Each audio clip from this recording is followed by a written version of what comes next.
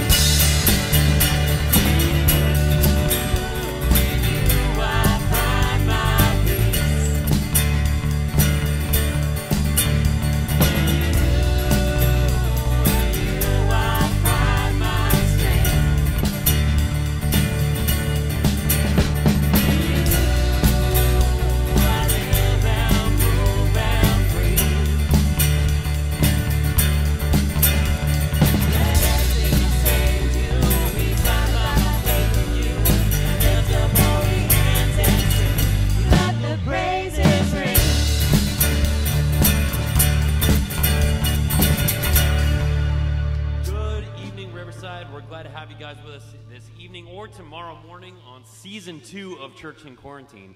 So thank you everybody for joining us. Uh, we really do wish you guys were here. We miss you already, but we're glad to have you guys on virtual Riverside. Uh, so praise God that we're able to be able to do that. Um, you may notice that we've got a new member of the band. Everybody at their homes, give a little golf clap for Brock. Thank you for joining us. Brock, imagine everybody else clapping for you. Uh, and aside from that, we will keep going with the praise. We have, hope you have your own coffee and donuts uh, to get you through quarantine. So we'll keep going.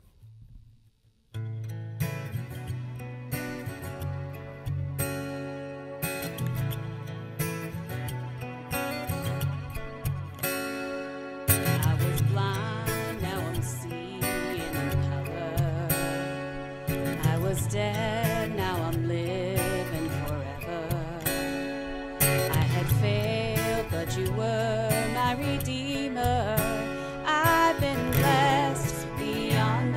measure. I was lost, now I'm found by the Father. I've been changed from a ruined treasure. I've been given a hope and a future.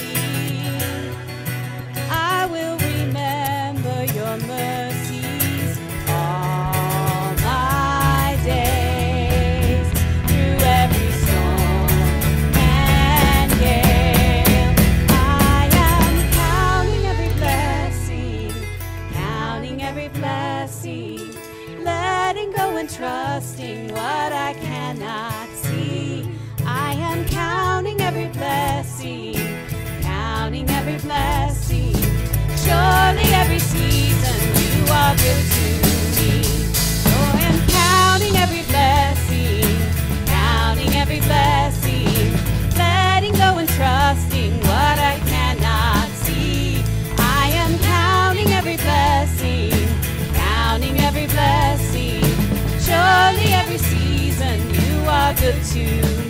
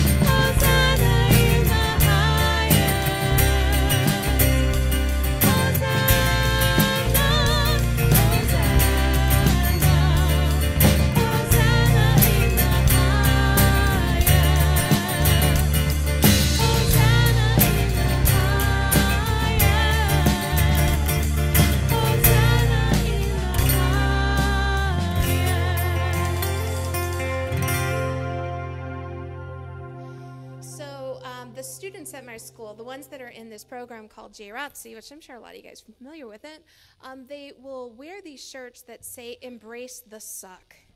I did not get "Embrace the Suck." At first, because I'm like, okay, human, and my mentality is like the exact opposite, right?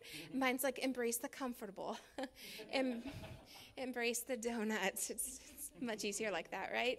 Skip the 5K. Um, but that philosophy of embrace the suck, they work out, they push themselves, and in the end, their goal is to make themselves faster and stronger because a lot of these students are preparing themselves for the future. They're preparing themselves for the long road ahead. They want to get faster and stronger mentally, physically. A lot of them go into the military. And major props to those students.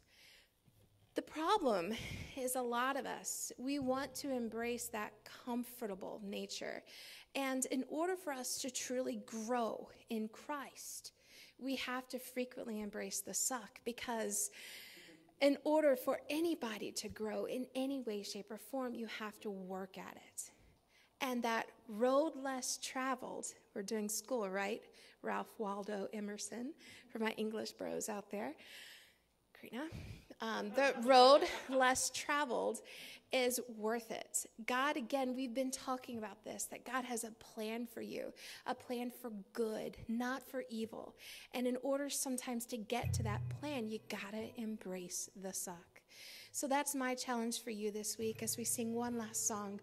The thing of it is, God is there for us, and we need Him every hour of every day. We need Him, and He's there for us.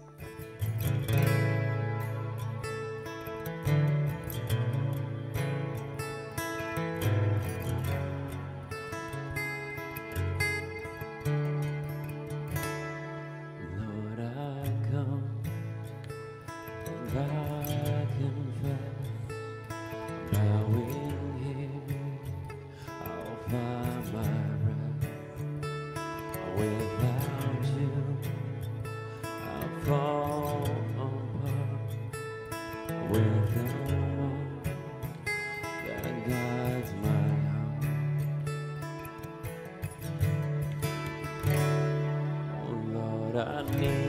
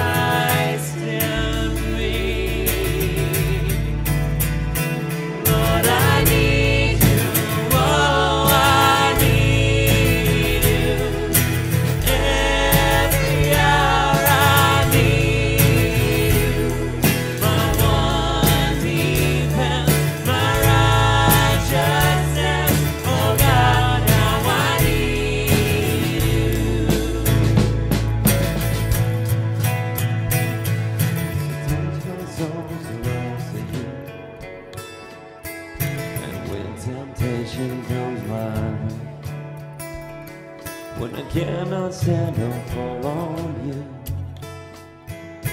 Jesus, you're my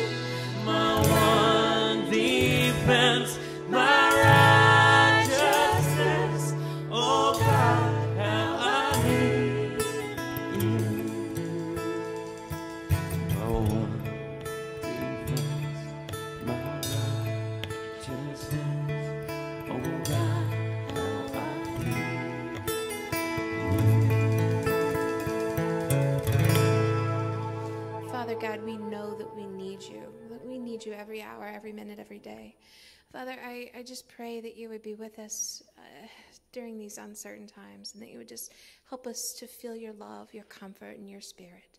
In your name we pray. Amen.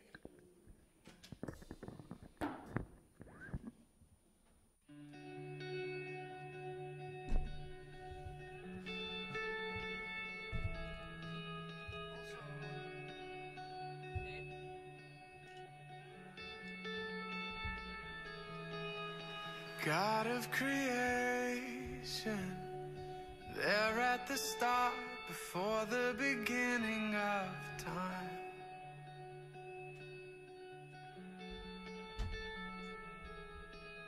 With no point of reference, you spoke to the dark and fleshed out the wonder of life.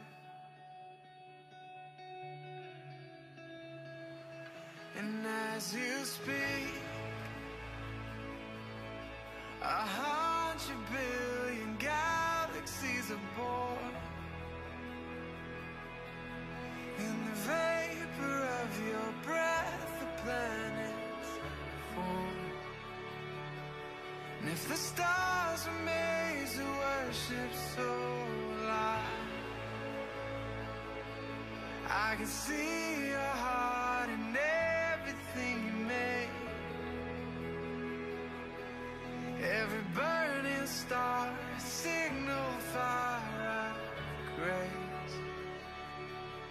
if creation sings your praises, so will I.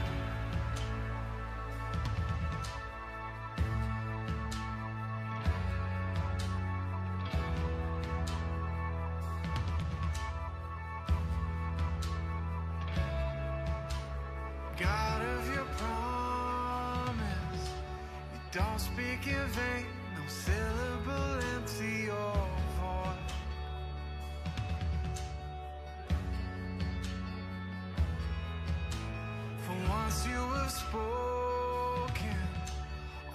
nature and science follow the sound of your voice. When as you speak, a hundred billion creatures catch your breath,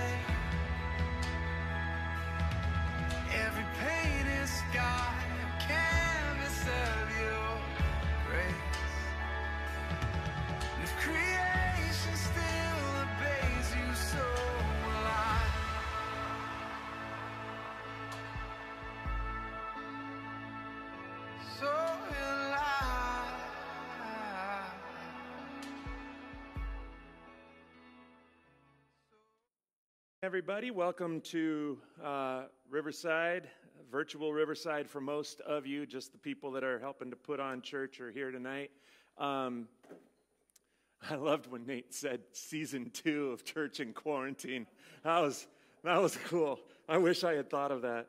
As a matter of fact, if you weren't here for the opening of this, then I did just think of that myself. It was uh, pretty amazing. Um, Bible study on Wednesday, we're continuing with that. Uh, we had two people, including, well, three, including me, on Wednesday night. I'm fine with that. Uh, I am having a great time going through the book of Mark. And what's fascinating to me is how much the book of Mark is illuminating the big story of the Bible and specifically the book of Genesis. And it's all just kind of working together in a way I God constantly blows me away with this stuff. So uh, if you're interested in coming, we do ask that you sign up on Eventbrite. I, I can't imagine there being any issue with us breaking the 15 number on a Wednesday night Bible study during the summer, uh, but just in case. Um, online only worship services during the month of August. Hopefully, that's all. And then we will be able to move back into whatever is next, and who knows what that is.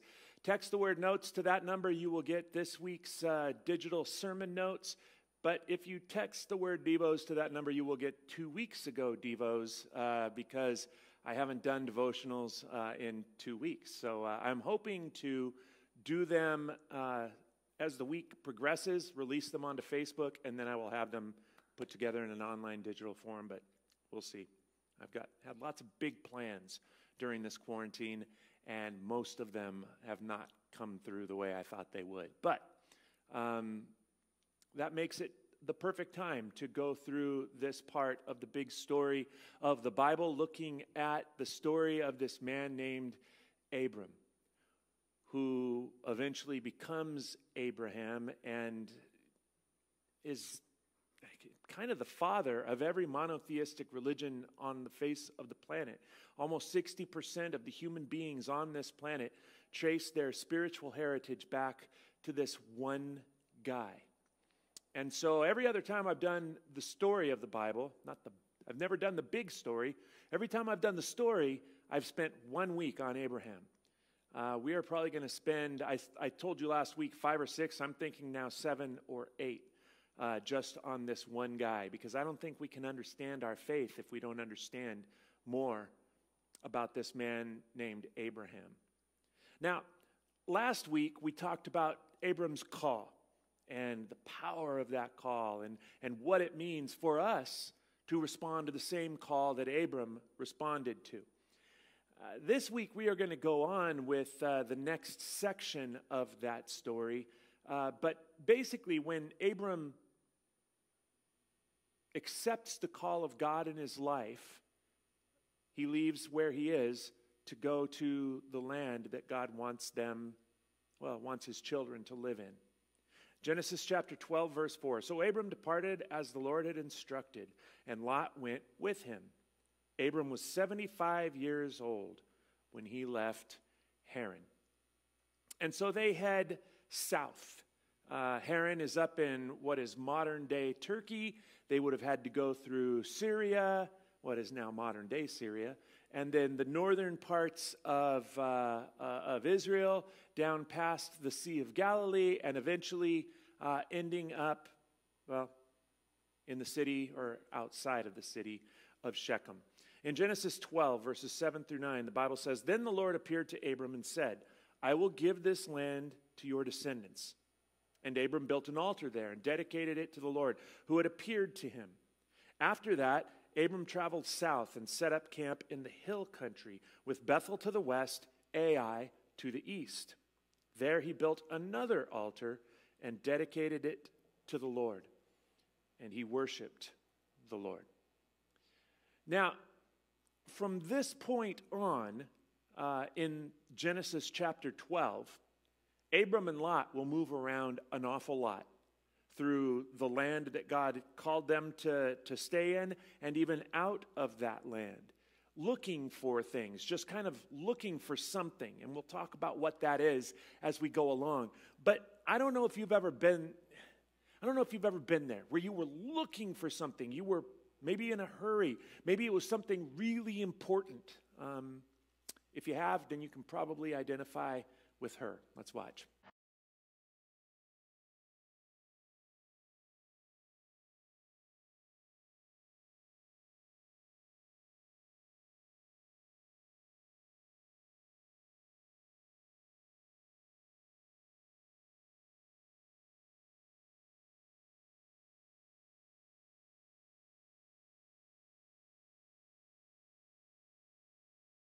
Now, I don't know if you've ever felt like that.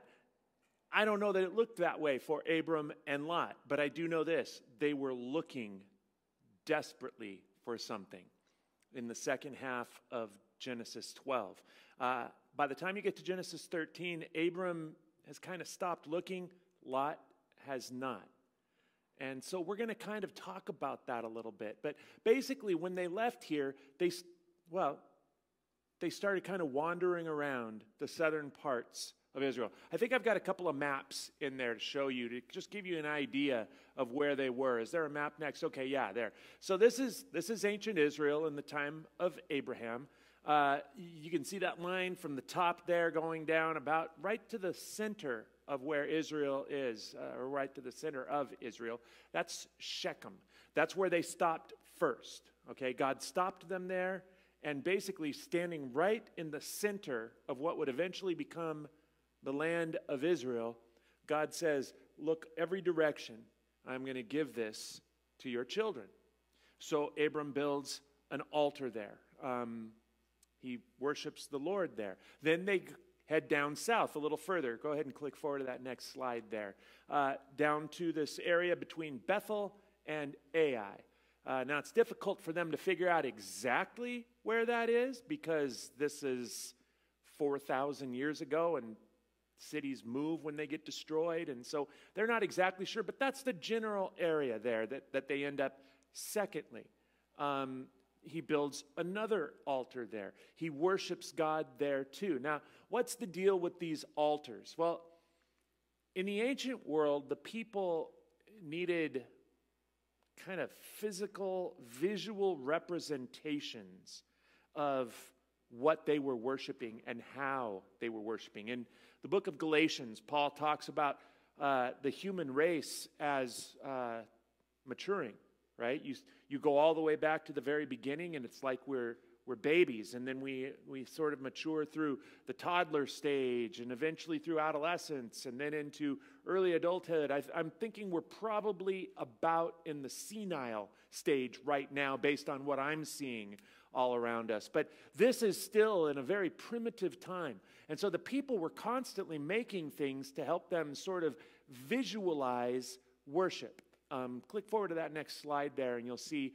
a picture of uh, these are actually two ziggurats. When we talked about the Tower of Babel a couple of weeks ago, uh, this is what they were building. Okay, I always pictured like, you know, the Empire State Building is what they were building. No, they were building these pyramids. Uh, they're called ziggurats. And the idea was that you ascended to different levels of spirituality and you would, you would you know, sacrifice to different gods on these different levels. And in the Tower of Babel, the big problem was they were, they were attempting to gain something, which is heaven, through their own efforts and not uh, through the through the efforts of God. And so that's that's that, that was what God's problem was there in Bethel. Now uh, Bethel is the it stopped Bethel, Babel. Babel stopped being built um, because God scrambled their language. But these ziggurats were everywhere in ancient Israel. Every town had one, and you can see they had like different idols of di- representing different gods at different levels and the people would go they would bring their sacrifice they would burn it on an altar and they would kind of see these gods and they would visualize it and they would think that the gods were actually there and that was sort of the way it worked. Abram comes along he stops in shechem first and he looks around and he's like this this is not going to do at all for him worshiping god. So he outside of the city builds his own altar. Now, I don't know what you think of when you think of altars that they might have built back then. I always pictured them kind of stacking a couple of rocks and, and starting a campfire on top of it, right? No. Uh, This is what, uh, go ahead and click forward to that next slide. This, this is what uh, they, they think they've uncovered. They don't know that it's Abram's uh, altar outside of Shechem, uh, but it is an altar outside of Shechem. And it's massive. Uh, it's got walls around it. It doesn't have, uh, you know, like it, it's not an enclosed space, but it does have a wall around it. It has this platform. Uh, you would ascend onto the platform, and then there would be a, an altar where they would burn their uh, their offerings and things. And so this is kind of the picture that that we're supposed to get, right? Mass. I mean, the, when it, when it says, "Oh, he built an altar," and then he moved on, right? Imagine how long it would take you to build something like this. What kind of an investment in time and energy and resources it would be. So they build that in Shechem. They move on down. Uh, he builds another one in between Bethel and Ai. And then a famine strikes. And when the famine strikes, Abram, well, he, he loses his faith for a bit. Abram doesn't wait to see if God will provide during the famine. Abram bails, right? Abram gets all of his family together and they head down to Egypt. I think there's a slide there for that. Um, click forward. There we go. Um, he leaves that spot of Bethel, between Bethel and Ai. He heads down to Egypt. On the way, he starts to worry not just about, you know, pro- providing for himself and his family, but his physical health, his physical well being. He's afraid. He said, well, he says to his wife Sarah, he says, You're so beautiful that I'm afraid that if somebody sees you and knows I'm your husband, they will kill me so that they can marry you. So here's what we'll do when we get to Egypt we'll tell everybody we're brother and sister. And that way, they'll be really good to me, hoping that I will then allow them to marry you. Okay? So that's our plan. So they get to Egypt, and it seems to be working great. What Abram doesn't consider is that Pharaoh, Sarah would catch Pharaoh's eye. And so Pharaoh just takes her, right? It's like, oh, she's your sister? Huh, great. She's in my harem now. And he takes her, brings her into uh, his palace, and just lavishes gifts all over Abram. But Abram doesn't say a word because he's worried about his own skin, right? And this goes on for a little while. We don't know for sure how long. We do know this. The only reason that anything changes at all is God sends a plague on Pharaoh's household because of what's happening. And we don't know for sure how Pharaoh figures it out, but he does. And he calls Abram, he says, You take this woman that you told me was your sister and is actually your wife, you take her and you get out of Egypt. I can't believe you've done this to me. And so Abram and Lot well, look at what it says Genesis 13, verses 1 through 4. So Abram left Egypt and traveled north into the Negev, along with his wife and Lot and all that they owned. Abram was very rich in livestock, silver, and gold. From the Negev, they continued traveling by stages towards Bethel, and they pitched their tents between Bethel and Ai, where they had camped before. Um, they are on their way back. Basically, they've come full circle, right? They are back where they started. And really, spiritually speaking, Abram is back where he has started.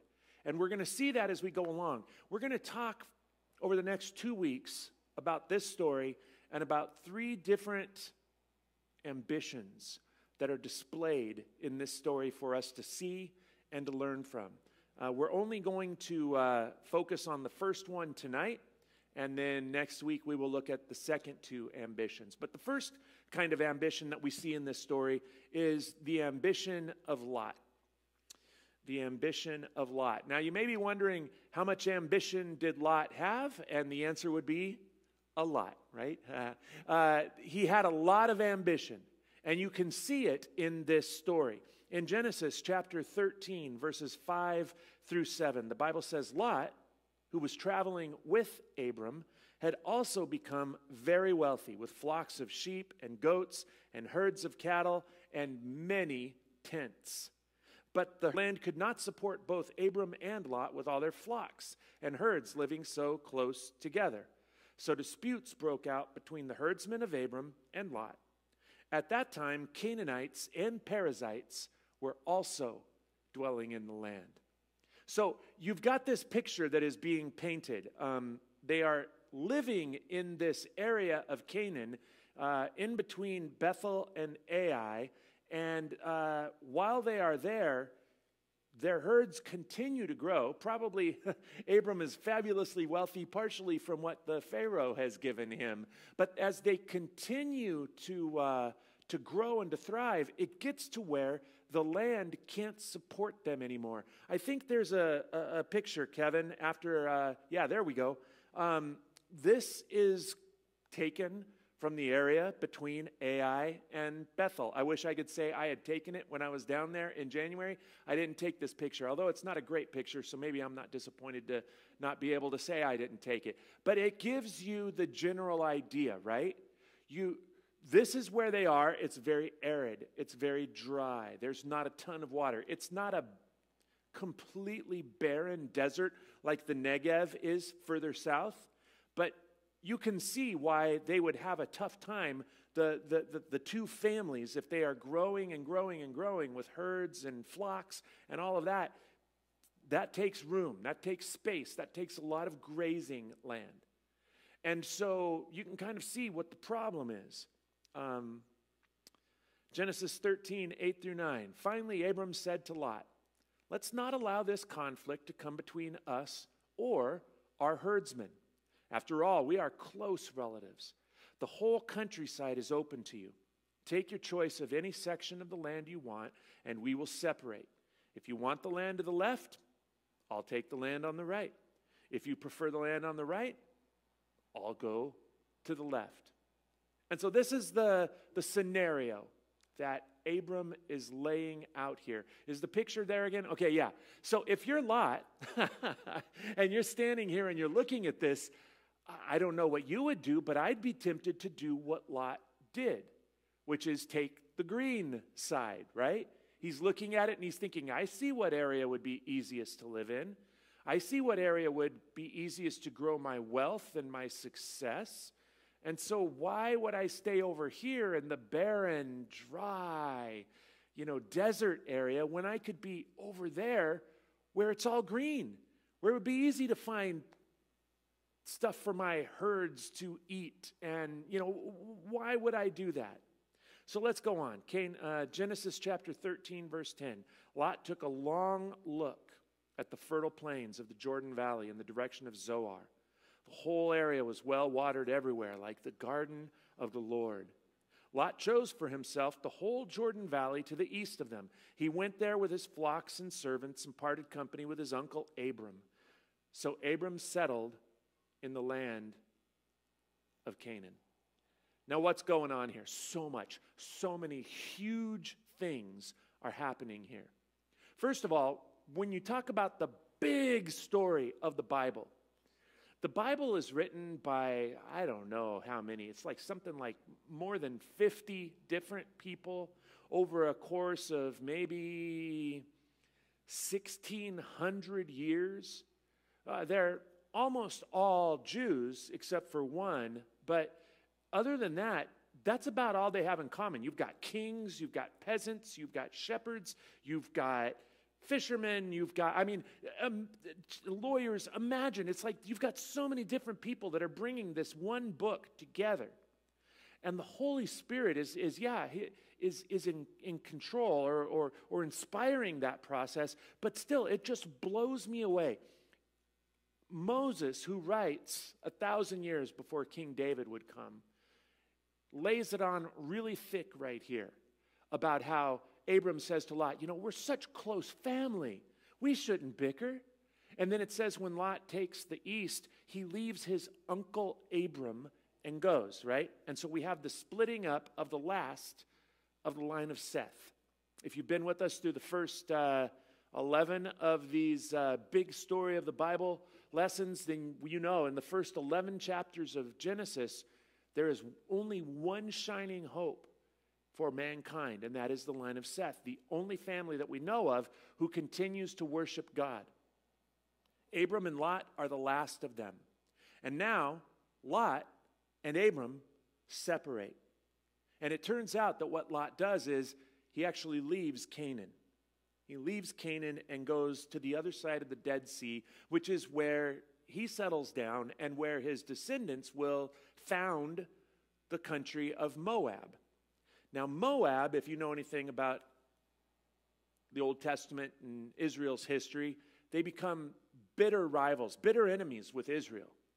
But a thousand years after this happens, there's this little story that shows up in the Old Testament about a woman named Ruth who is from Moab, a descendant of Lot. And she leaves, oh, she's a widow, she leaves with her mother in law Naomi, who is a Jew, and goes back to Israel, where she meets a nice Jewish boy named Boaz, and they get married and they settle down. And you have, without even really a lot of fanfare or, or anybody pointing it out, the families of Lot and the families of Abraham coming back together again. right? This is the foreshadowing of what's going to happen. Turns out the Holy Spirit is a brilliant, incredibly creative storyteller.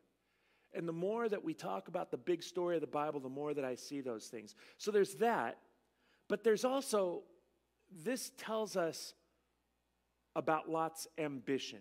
And it may be hard to see. Uh, I don't read Hebrew. I'm not a Hebrew scholar by any stretch of the imagination. It was the toughest class I had in my four years of Bible college. Um, but I, I know enough about it and know enough about who to read to tell me what's going on here. Uh, when it says that Abram says, okay, I want you to, you, you, you pick, right? Here's, here's the land, you pick. When Moses writes, so Lot lifted his eyes and looked to the east. That, uh, actually, what it says there is he took a long look. And what that means is he's looking for something really important to him. And then it says that the whole area was watered everywhere like the garden of the Lord. That's not just some, you know, flourish that Moses throws in there. As a matter of fact, what the Hebrew scholars say is the first part where it says Lot took a long look, that that's the narrator speaking, right? That it's like telling you what's happening in the story. But when it says that the whole area was well watered, like the garden of the Lord, that, based on the change of tense and, and gra- grammatical stuff that I that is beyond me, but the experts say that any Hebrew reader would have seen that known that's what Lot is thinking in his heart. He says, Look at that. It's like the garden of the Lord. So what? So why is that important? Because that tells us what's going on. That tells us what is at the heart of Lot choosing the area that he does. Right? It yeah, it's it's a great place for it's, an, it's going to be an easy place to live. It's a place where it'll be easy to create success and influence and wealth, but it is also outside of the promised land. And so Lot is choosing to abandon the call of God, to leave the land of Canaan, to go to the area that looks to him like something that will give him what humans possessed only during the time that they lived in the Garden of the Lord. Now, what do humans possess then? Well, they possessed, according to the Old Testament, complete shalom, right? It's the Hebrew word for peace, but it's not just our idea of peace. Shalom in the Old Testament is this sense that everything is well between me and every relationship that I have, right? My relationship with heaven is completely at peace. My relationship with all of the people that God has entrusted into my life, completely at peace. My relationship with me, myself, and I, right? With that there's so much turmoil and so much guilt and shame and regret and anxiety and worry and fear that that's gone, that, that we are just experiencing this complete shalom. And that my relationship with the creation is completely at peace, right? That's, that's what humans had in Eden. Not one of us has had it since then. But what scholars say is when Lot looks and sees that area, he thinks, if I go there, it'll be like it was when we lived in the garden of the Lord. And what that tells you is Lot was struggling with idolatry. We've talked about this already in the big story of the, old, of the Bible. We will continue to talk about it. It will continue to be a huge deal. Idolatry is not just about bowing down to idols. Idolatry, according to the Bible, is any time I decide I am going to find my shalom in any area other than in God Himself. With, Beth, with Babel, they create this, this tower. Why? So that they can storm heaven and they can achieve shalom on their own power. That's the problem with Babel. It's not that they were building a tower, it's that they thought they were going to achieve Eden, paradise by their own by their own will, by their own strength. And what's going on here? Was there anything wrong with Lot going to uh, this place that he goes to, wanting to have an easy life, wanting to increase his wealth and his influence and his, his success? No. No, there's nothing wrong with that. Abraham was incredibly wealthy, was incredibly successful, had incredible influence, incredible power, and never once are we told that there was anything wrong with that. So, what's wrong with Lot wanting it? He looked at it and thought, that's what's going to make everything okay in my life. And that's what idolatry is. It doesn't take some carved idol to do that. We continue to do it. The human heart John Calvin said, is an idol factory. We, we, we create idols everywhere we turn. We think, okay, that's what I need to be okay. And then we'll get it and we'll achieve it. We'll be like, okay, no, that, this is empty. So that must be what I need to be okay. And we bounce all over between money and success and power and influence and control and pleasure. Even our relationships can become an idol. And that may seem strange, but if you put all of your hopes for everything being okay with you on the shoulders of another human being, whether it's a spouse or a child or whatever it happens to be, no human can take that kind of pressure. And you put that kind of pressure on another human being, and pretty soon that relationship will become toxic and dysfunctional. And psychologists talk in terms of codependence and narcissistic control tendencies, and there's all kinds of issues. Okay? That's what Lot is thinking. If I go there, it'll be like it'll be like it was when we were in the garden of the Lord. And what's fascinating is uh, he could have gone down there and just stayed in Canaan and been in that little gray, green area. Is that picture, is that, is that anywhere close by again? Um, there we go. See, that area that you can kind of see, that strip of green, that's still in Canaan right? If Abram had gone that way, he would have stopped there. Lot goes on to the other side of, uh, of the, the Dead Sea. Is, have I got the map there? Yeah. The other side of the Dead Sea, way down there, that's where Zoar is. And what Lot is thinking is, I'm going to attain the garden of the Lord, but he's trying to do it without the Lord, which is what idolatry is. Nothing wrong with success and power and money and pleasure and relationships. Those are all good things, all things that help make this life sweet, unless we make them the foundation, the thing that is that we have to have, uh, uh or we're not going to be okay. And so that's what happens with Lot. You, you, Moses is trying to tell us, like, I don't know about you, I grew up and I'd see this story, I'm like, so what? So why does that make Lot a bad person? It's not about what he does, it's about the attitude behind what he does. The manuscript that Elaine was looking for in Jerry's apartment, she needed it because the job she was applying for, she needed to be able to speak cogently, coherently, and intelligently to the publisher about the book. Well, she can't find it, so she has to rely on a very unreliable source for her information. Let's watch.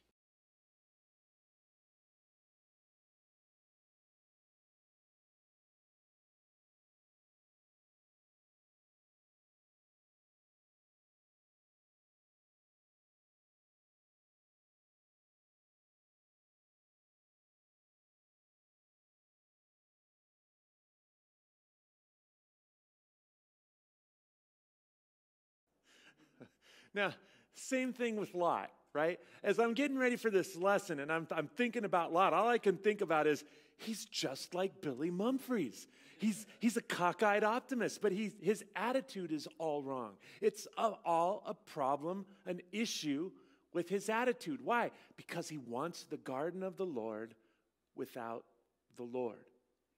See, Abram, Abram has three different relationships that he is concerned about. He is concerned about his relationship with money, he is concerned about his relationship with God, and he's concerned about his relationship with Lot. And he, they live in a patriarchal society. Abram is the top of the pecking order in their family. Abram could have said, You stop your herdsmen from quarreling with me, and you do what you're told, and you'll like it. And Lot would have had no, not, you know, no recourse right? But he would have he would have resented Abram. Abram could have said, "You stay here. I'm going to go over to that green area." Right? And Lot would have had no recourse. He would have had to stay, but he would have been resentful. right? But Abram cares, right? Abram is following really what, what Jesus, thousands of years later, will say is the most important laws in the entire Old Testament. He loves God, he loves others, and he takes good care of himself.